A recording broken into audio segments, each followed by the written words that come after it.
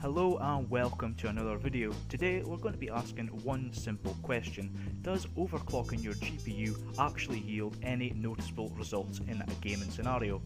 To do this, we're going to be using the 2013 version of Tomb Raider. We've used this today because we can run it at 1920 by 1080 and really crank the settings up. And with its in-game benchmark, we'll be able to see if we get any increases in frame rate as we start to overclock the GPU. Now the rig that I'm using is fairly indicative of an average spec gaming rig today. It features an Intel Core i5 4590 CPU, an R9 280X GPU and about 8GB of DDR3 RAM. Using MSI Afterburner we can tweak the clock settings of our GPU. We're going to start off with the base clock speeds, which is for this particular 280X GPU, a core clock of 1 GHz and a memory clock of 1.5 GHz.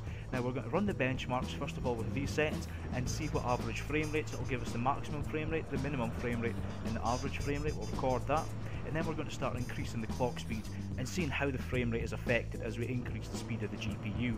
Now one of the biggest concerns that people have when it comes to overclocking a graphics card is if it is going to do damage to the GPU. Thankfully, these days, GPUs have built-in facilities that will actually throttle the clock speeds if it determines that it's getting too hot.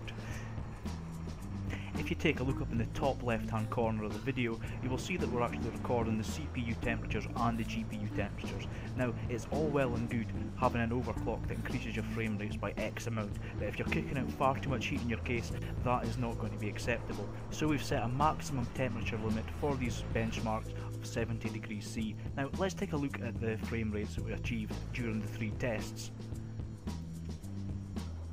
So with the base clock of 1GHz core clock and 1.5GHz RAM, we achieved an average FPS of 115.8. Adding 50MHz onto both the core clock and the VRAM, we managed to achieve an extra 2 frames per second on average.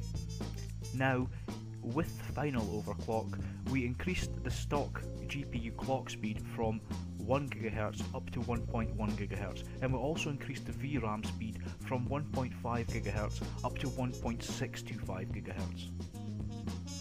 Now this netted us a really healthy 123.3 FPS on average. Now that is an increase from the base frequency of 7.5 FPS.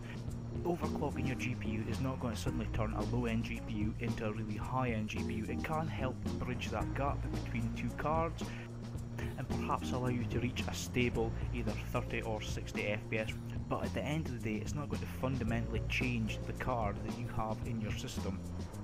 But with all that said and done, overclocking, especially with the easy to use tools that are now available, it is free power. So go ahead, give it a go yourself and see what you can achieve. Thank you so much for watching this, if you liked it hit the subscribe button and I'll see you in the next video.